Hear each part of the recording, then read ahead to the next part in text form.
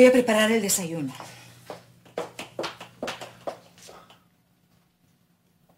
¿Problemas? Ah, algo de eso, sí. ¿Qué? ¿La señora Charo ya empezó a sospechar? ¿Sospechar? Vamos, tío, dime la verdad. ¿Quién era esa mujer que vino anoche?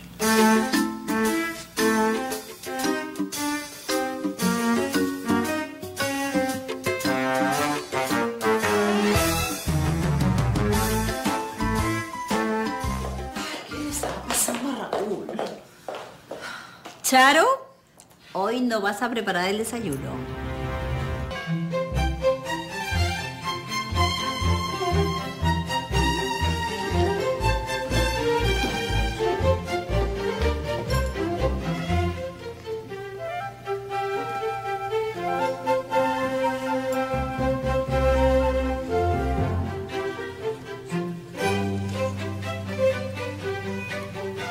¿Y esto?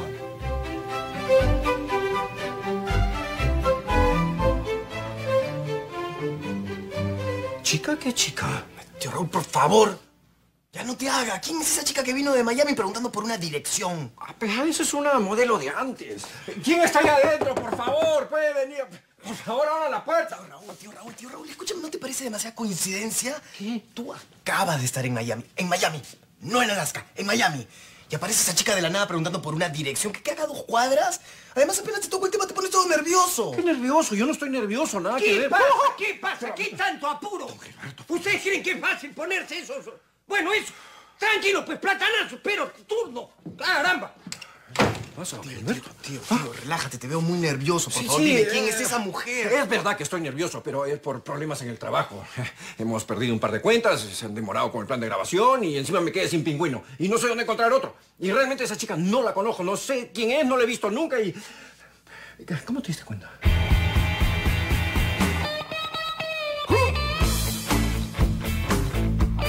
¿Cómo que no voy a preparar el desayuno, señora Nelly? Bueno, yo sé que no es mi obligación, pero en esa casa nadie sabe hacer nada. Ve, ni siquiera pueden sacar la jamonada del refrigerador. Ay, el refrigerador. Tan blanco, tan grande, tan frío. ¿Te pasa algo, Charo? No, simplemente extraño mi microondas. Bueno, si me permite. Ahí nomás, ya te dije que hoy no preparas el desayuno. La Francisca nos invitó a su casa. Doña Francesca, a todos.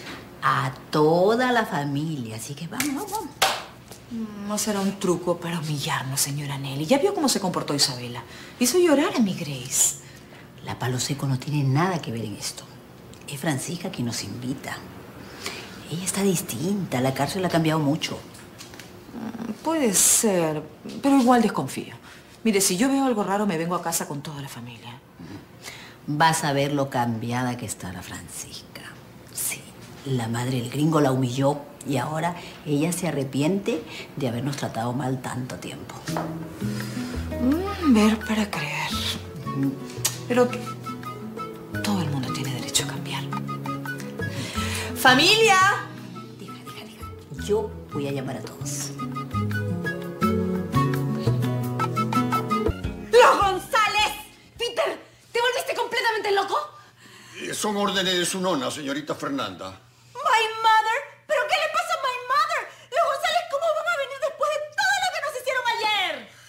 El fracaso de ayer se debió un 80% a causas internas. Yo no sé qué me quieres decir con esto, Peter, pero los González no pueden venir a mi casa. Mi casa, Isabela. Todavía no me he muerto. Nona, ¿qué estás haciendo? Algo que debió haber hecho hace cinco años. Recibir a los nuevos vecinos como parte de esta comunidad.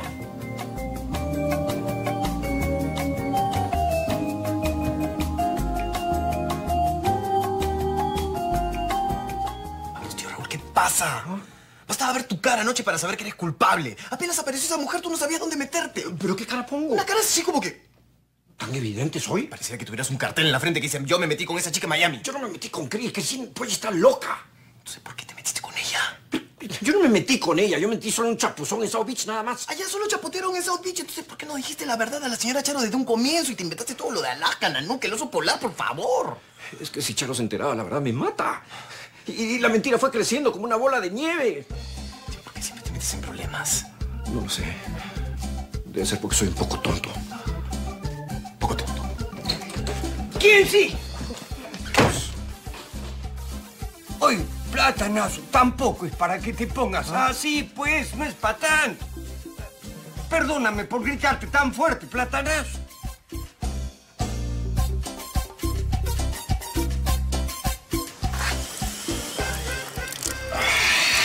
Que ya hace su friecito, ¿no, hermano? Sí, compadre, yo creo que vamos a hacer la del avioncito nomás. Primero las alas, después el motorcito. Ajá. Oye, este, y... ¿Cómo te fue con tu reencuentro con Rafaela?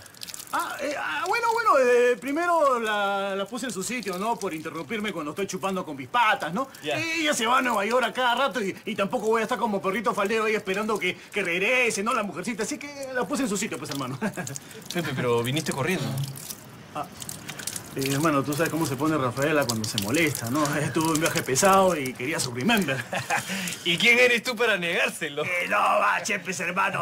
no, no hay patas, ¿no? Claro que no, pues si somos ¿cómo me voy a molestar por tu flaca, mi compadre? Ah, claro, pues hermano, tampoco yo me voy a molestar cuando tú tengas tu flaca y, y te pide el, el- el fruto prohibido, ¿no? ¿Dónde se escuchó eso, ah? Ah, no sé, como que está de moda, ¿no? A ver, a ver, se me arreglan bonito porque hoy desayunamos con los Maldini. ¿Escuchaste lo que dijo tu vieja? Vamos a frente. Usaremos jabón. Caballero, ¿no? Acá hay un poquito de detergente, compadre. ¿eh? Dale, pues. Ya, pues. Sacar todas las cositas ahí.